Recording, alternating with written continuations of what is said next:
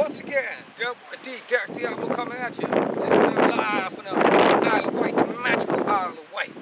So along my travels, obviously I'm meeting up with my hooligan friends, my skinhead friends, football firms and that. Loving those lads, having a good time. It gets tricky, but I'm loving it, you know. Besides that, I meet another species. Some human, some non-human, you understand? Talking about gypos, been hanging out with some gypos, that's gypsies. So I got some that's Janner, that's Plymouth, Plymouth, and I got some that's Cornish, Cornwall, been knowing some of them, right? And then besides that, you got your Scousers, they're from Liverpool. That's a gangster type of species. They like to sell drugs and stab people and stuff, but I get along with them just fine. They're cool to me, the ones I met.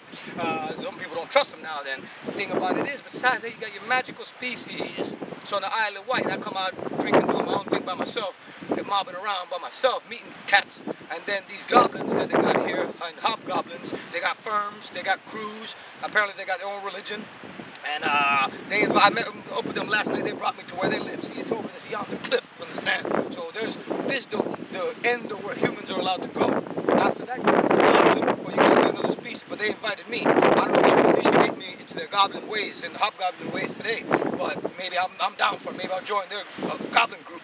So then, what I need to do. I need to get over yonder cliff. They did it with me last night. Oh, as you'll see, there's still civilization up to this end point. But then over there, you gotta be a goblin or something. So wish me luck. But if I don't come back, don't send anybody because humans won't go over there. The goblins will look out for me. I gotta trust myself. So wish me luck. Del Boy D, going to meet up with the goblin firm in the magical Isle of Wight over there.